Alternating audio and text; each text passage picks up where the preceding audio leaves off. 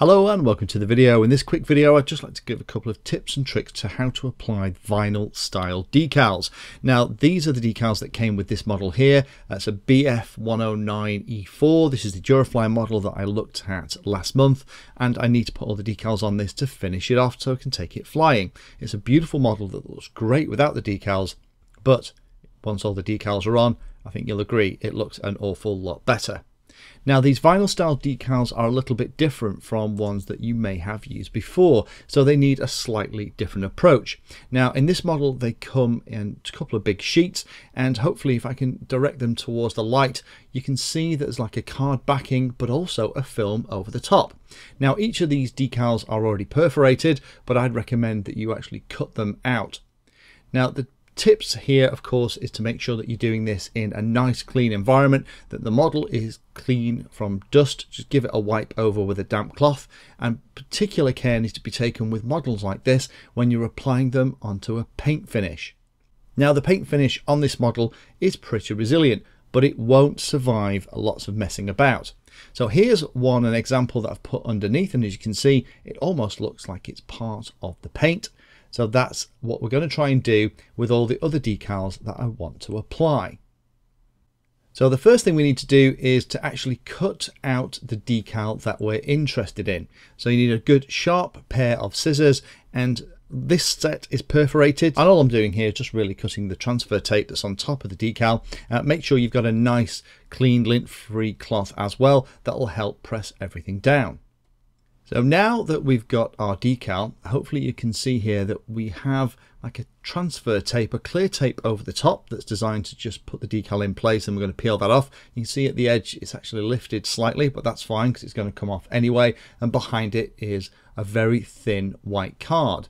Now if it's nice and thin, you're going to be able to peel this off pretty easily. This is pretty thick card, so I'm actually going to take this card off so having a little knife about is very handy. You uh, might need to help to get it started and it's also handy to just keep the decal in position because the edges are the pieces that are going to lift. Once you've got the edges stuck then the rest will come off.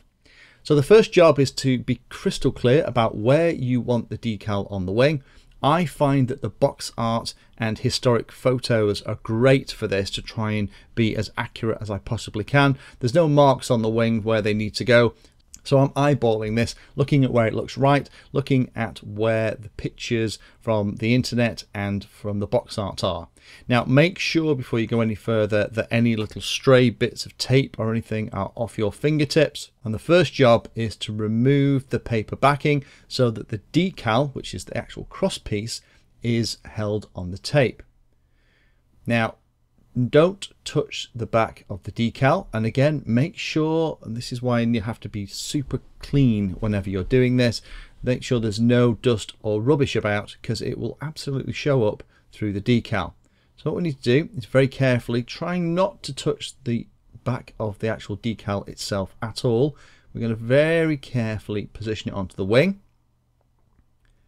And once I'm happy with the positioning what I'm going to do is I'm going to use firm pressure from my fingertip. I'm going to start in the middle and I'm going to work my way out. That way, any air bubbles are going to be pushed to the edges and pushed out of the decal itself. Now there is a slight air channel around the edge of the decal and the transfer tape, but we're not worried about that at the moment. All we're doing is just gently working through firm pressure the heat in your finger will also help the adhesive. We're not pressing at all on the transfer tape because if you do, then potentially as you lift the transfer tape, particularly on painted models like this, you might accidentally lift a little bit of paint too.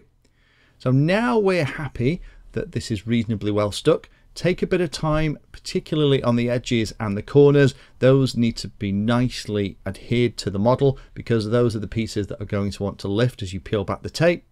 The next job is to then very gently lift off the film. But the trick is you're going to drag it directly across the model. You're not going to lift up because that will lift up the decal as well. You're going to very gently just work your way across the decal using firm, constant pressure.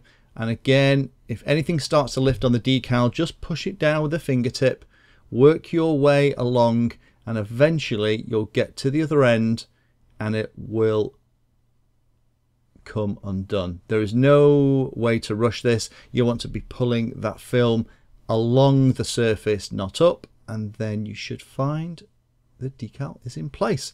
So this is now rubbish, this transfer tape. I'd recommend having a bin by the side because the table is going to be covered in bits of paper and bits of transfer tape as well and you don't want those sticking to stuff. So the last bit then is to make sure that the decal is adhered take particular time along the edges because that's where they're going to lift and if there's any moisture or anything that's where it's going to get underneath. So you can use a lint free cloth like this uh, or your fingertip works really well but just take your time again working from the middle out to the edges and then push the decal into any surface molding and it should look like it's painted on by the time you're finished. If there are any bubbles in there don't worry about it just use a little pin and just pop the bubble and then use your fingertip again to expel the air so the decal is nice and flat. But if you do it this way, it should be pretty solid. So let's do another one. Let's pop this uh, cross on the side of the fuselage. This is a bit of a pro tip now. I would always recommend when you're doing it on something like this is put lots of greasy fingerprints over the bits of tape the transfer tape, not the decal itself, the transfer tape that's going to go around the edges. The reason for that is that dramatically reduces the amount of stickiness on the transfer tape and stops it from lifting the paint. Because unfortunately, if you accidentally put a bit of pressure on the transfer tape and the transfer tape adheres to the paintwork, even if you're pulling the transfer tape off at that extreme angle, it will pull a little bit of off. So that's my big tip. Make sure if you're going to use pieces like this, just put your fingerprints all over the transfer tape. That will help reduce the amount of stick so you won't have the problem. But again, exactly the same process, pulling the tape down across the fuselage, making sure that the edges are not lifting at all. I find going diagonally across pieces like this is great now I have a little bit of a curve under the chassis. So as, as the fuselage goes underneath, I'm just going to try and follow it with a tape. And there's another one done. Again, just using the pressure from my hand and rubbing in on the decal, making sure that every single edge, particularly the corners, are nicely adhered. And then I tend to just with a fingertip push the decal into any molding. That way it definitely looks more like a paint application rather than a decal itself. Some pieces can be really tricky, particularly if they are long and thin. So this detail for the wing, the trick is figuring out where you want to start. And with this piece, because it is so flexible, the positioning of the bottom edge and then the positioning of the rest of the tape along the wing is really important. Now, once you've got it in place, then I'd recommend using something with a reasonably sharp but blunt tip. So I'm using the edge of the Sharpie pen to really get the decal to adhere and desperately trying to make sure that I don't apply any pressure at all to transfer tape because as I lift the transfer tape, I don't want to take off any of that paint. I just want to leave that red line behind.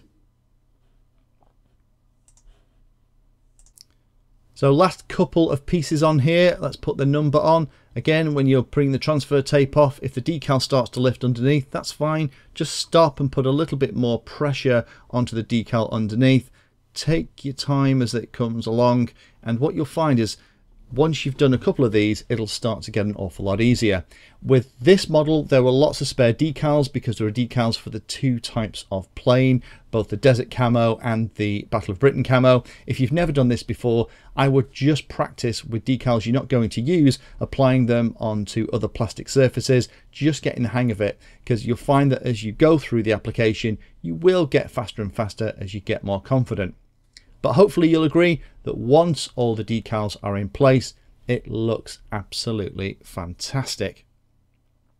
So hopefully that helps those of you that have never used these kind of vinyl decals before. The trick is make sure you're doing it in a very clean environment. Cut the decal that you want out of the sheet. Remove the paper backing. I personally would put lots of thumbprints on the transfer tape around the decal to make sure that it's not going to pick up any paint. Positioning the decal in place use your fingertip to then stick the decal in the center and work your way out to remove any air bubbles and then remove the transfer tape, making sure that you're pulling it along the line of the surface of the model, never pull it up. And that way you'll find that the decal will stay in place and it's just a final bit of firm pressure with your fingertips or a lint-free cloth should make sure that it's adhered perfectly to the surface. If you found that video useful or like the content, then please hit the like and subscribe button down below. If you want to go the extra step, you can become a Patreon of the Painless 360 channel and help provide support for what I do here. All the videos created here are put into playlists, so if you're interested in a particular topic, have a look at the playlist, and they all are organised in there to make them easier to use. If you're not sure if there's a video for your particular problem or topic you want to know more about, then add Painless 360 to the Google search term that you're interested in, and that should find the video, article, or content about the particular thing that you're interested in having a look at.